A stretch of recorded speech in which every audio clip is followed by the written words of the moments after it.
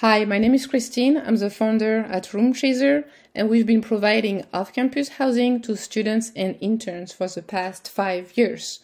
We have a proven business model, and I'm ready to scale and grow RoomChazer. Here is a problem we're solving. The housing market is very competitive. It's very hard for everybody to find housing, even more so for students. Students are just more work and more risk for landlords. They don't have income. So we just don't have enough landlords renting to students. But RoomChazer is changing that, and here is the solution. We have a platform that makes renting to students easy and profitable. We guarantee landlords less turnover, less problems, more rents, and more stability. The market is pretty big, and the timing is great for RoomChazer to grow. We've always had demand on the student side, but getting properties always been a little harder. But in the spring, there is a new law in San Diego that's going to restrict Airbnb properties. So we're going to have about 6,000 properties back on the market.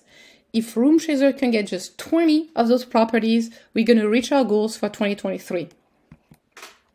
How we make money? So number one, we sign leases with landlords at market rate. Let's say this is a two bed, two bath, and it goes for 3,000. We pay the landlord 3,000 a month. Two, we create value by furnishing the place, doing roommate matching, and providing excellent customer service to our students and their parents. Number three, we charge the student 3,900 a month. That's a 30% premium. So this means that RoomChazer makes on this property $900 every month. Traction has been fantastic. This past year, it's been the best. Uh, in June 2021, we were at 12 properties, and in June 2022, a year later, at 21 properties, and now we're at 23 properties.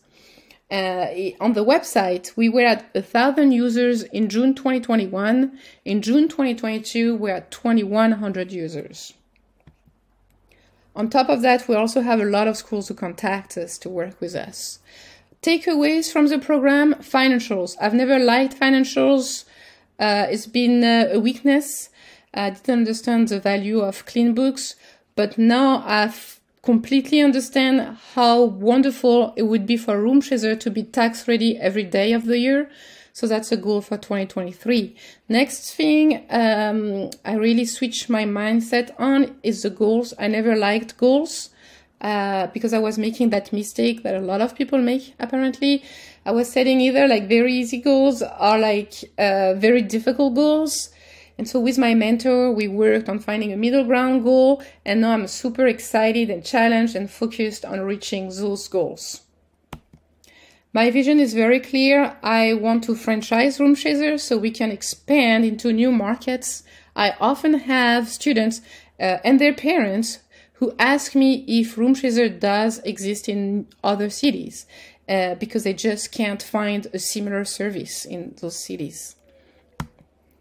How are we going to use the money? Uh, we are betting on students to grow RoomChazer. So we're going to hire students to work on sales.